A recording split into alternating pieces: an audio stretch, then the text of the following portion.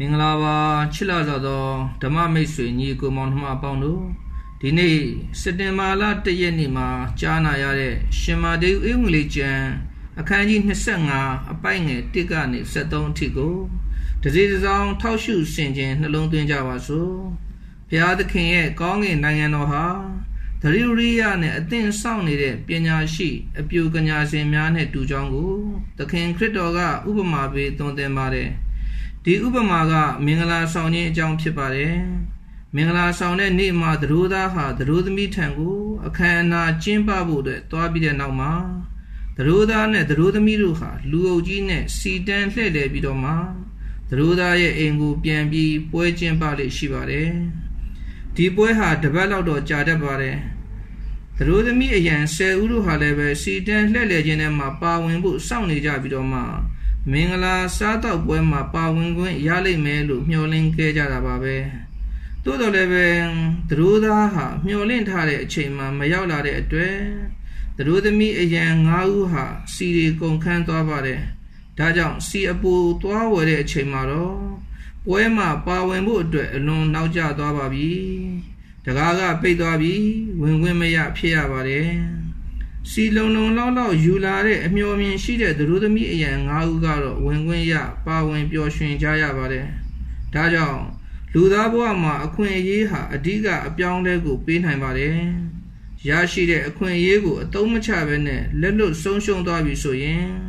နောက်တစ်ခေါက်ပြန်ရဖို့မလွယ်ပါဘူး။ဒီအခွင့်အရေးဟာကျွန်ုပ်တို့ဘဝတိုးတက်ဖို့အတွက်ပေးအပ်တာဖြစ်နိုင်ပါတယ်။ ရှင်သန်ရာဘဝမှာ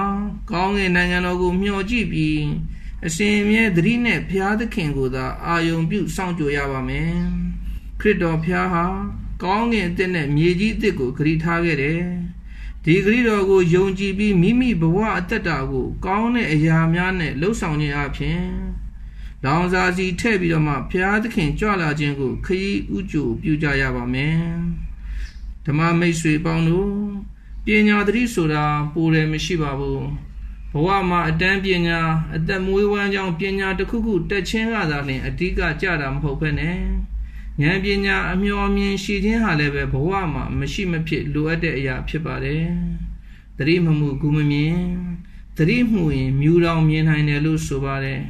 ပညာတက်ခြင်းနဲ့ပညာရှိခြင်းနှစ်ခုစလုံးဟာဒင်္ဂါးပြားမှာပါတဲ့ပန်းနဲ့ခေါင်းလိုပဲအမြဲတစေဒွန်တွဲနေရတဲ့အရာဖြစ်ပါတယ်။အကောင်းနဲ့အဆိုးအလင်းနဲ့အမောင်းအမြဲတစေဒွန်တွဲနေတဲ့လောကမှာဉာဏ်ပညာအမျှော်မြင်ဟာသာလျှင်ဘဝရဲ့လမ်းပြစင်မီးအိမ်ဖြစ်ပါတယ်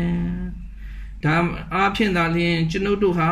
အပြစ်ဒုစရိုက်မကောင်းမှုဟုသမျှကိုရှောင်ကြဉ်နိုင်မယ်။ ဒီအပြင်ကုသိုလ်ကောင်းမှုပါရမီတွေကိုလည်းပဲနေ့စဉ်ကျင့်ကြံတိုးပွားစေပြီး